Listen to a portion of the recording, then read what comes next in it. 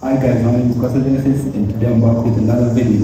So whether you're paying 3 bucks for the coffee that you just took, or you want to send your friend like me a tip of 5 bucks, or you want to read an article online and you need to pay money for it, or maybe like 0.75 bucks, we have a solution for you called Wallet. If you watched my recent video, I talked about a little bit of Code Wallet but today I'm here to give a more explanation of how everything works. With Code Wallet, it has made receiving and sending money so easier.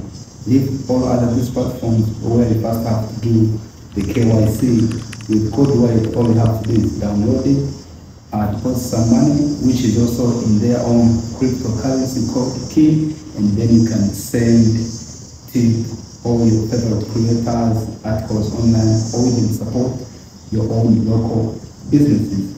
Here's one reason why I think you could or you should choose Code Wallet transparency and uh, privacy. No one has, uh, no one can access your transaction history like uh, like other people do on the blockchain because on the blockchain, if anyone has your address, they can see uh, tokens you're holding, the transactions you're making.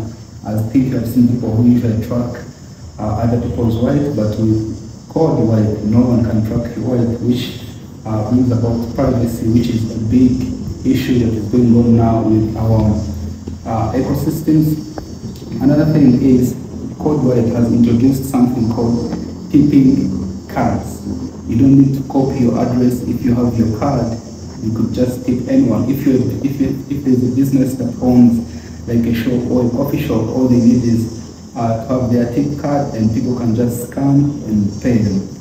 Uh, another thing is um, also uh, you don't have to worry about the inflation because Code Wallet is backed by its own currency, which has a fixed supply, which means if you have your savings and you're keeping them or you're trying to send money everywhere, you don't have to worry about, for example, if you're sending Bitcoin or Solana, of course, if you send it to another person and they don't withdraw it at the moment, it could either go higher, but most times it goes low, which means the amount you intended to send to someone is not the one they receive. Code Wallet is changing that by having its own fixed supply. So what are you waiting for? Whether from Tanzania, India, Uganda like me, Nigeria. I've seen big people from Nigeria onboarding many users. Code Wallet has uh, supports about 100 plus currencies all over the world. So what are you waiting for? If you're watching this video, download Code Wallet using the link in the description and I'll send you a tip myself or other favorite creators from the world will also send you tips to test it out. Thank you.